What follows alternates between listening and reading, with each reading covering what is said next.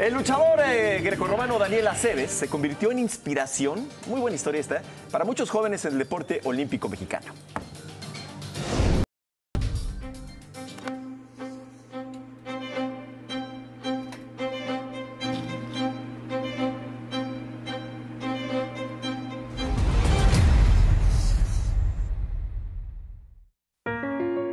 Soy Daniel Aceves, soy medallista de plata de los Juegos Olímpicos de Los Ángeles en 1984 en lucha grecorromana.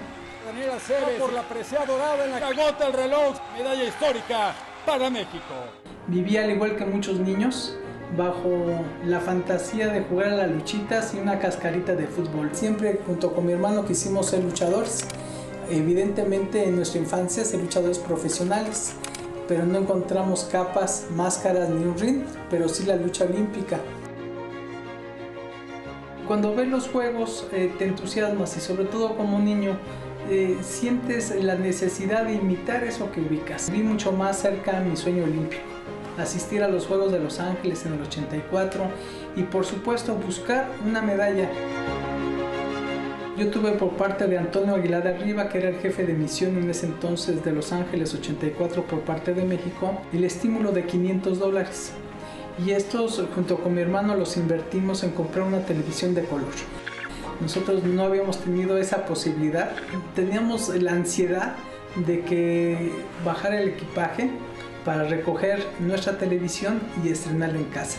Ese fue el festejo que tuvimos. Hay una serie de paralelismos entre Pilar Roldán, que fue la primera medallista olímpica mexicana, una medalla de plata en el esgrima en 1968 y su servidor. Nacimos el mismo día, en diferente año, y ganamos una medalla de plata.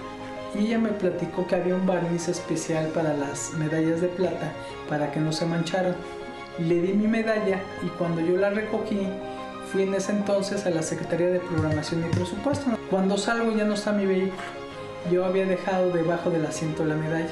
El vehículo nunca apareció, pero al tercer día, en la Columna Guerrero, en, tu casa, en ese entonces, eh, envuelta en periódicos y con mecate, eh, eh, echaron la medalla por la ventana rompiendo el cristal. No podemos quedarnos colgados de esa nostalgia.